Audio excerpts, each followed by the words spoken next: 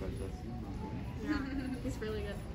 Um, We there's, had him for something else. yeah, the leadership like training at the beginning before school started. I kept telling Um, there's raffle baskets up front, Already did them. Out the door. out of order. Yeah, but it's still I did it working. completely backwards. I went to the raffle, and to my seat, and then no. and now I'm gonna get my court uh, thing scheduled. I'm just kidding. Thank you so much. Yeah, Until I have fun. I will. You sat